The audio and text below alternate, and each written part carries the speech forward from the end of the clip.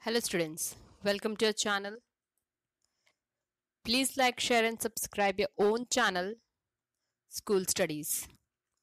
School Studies is pleased to announce the launch of our educational website, Patel Shikshan.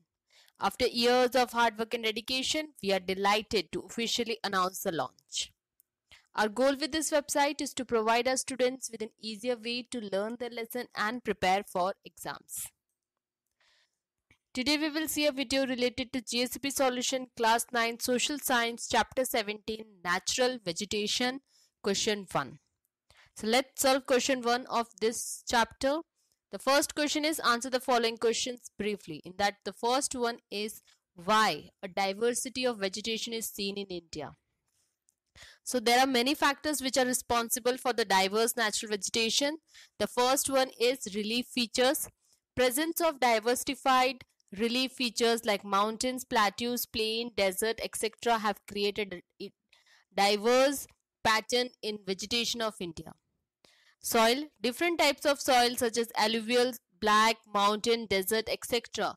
are found in this diversified geograph geog geography of India. This variation in soils also creates differences in vegetation. Temperature the vast difference in temperature and humidity of cold Himalayan regions and southern peninsula also leads to variation in vegetation. The amount of sunlight over a region depends upon its latitude and altitude. Vegetation grows faster in presence of more rain and insolation. The sun shines leads to variation in vegetation. Rainfall. The distribution of rainfall in India is so quite unequal this too causes diversity in vegetation. Second question, what is the environmental importance of forest? So forests are important for our environment in following ways. Forest brings helps in bringing rain.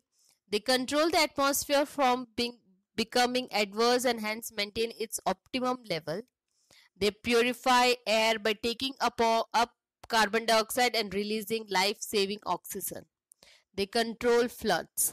They absorb harmful gases like carbon dioxide, carbon monoxide, etc. They prevent soil erosion. They maintain groundwater level. They prevent deserts from expanding.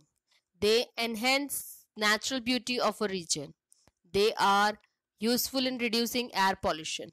They are used as places of, for adventures and tourist activities. Some forests are reserved as national parks, sanctuaries and bioreserves. This help in preserving flora and fauna of the nature. Next, what are the reasons for forest destruction? Destruction of forest. So the reasons are man due to his several anti-environmental activities and selfish motive disturbs the ecosystem. Man's never ending desire to procure more and more land and exploit it for commercial purposes leads to destruction, sorry, destruction of forest.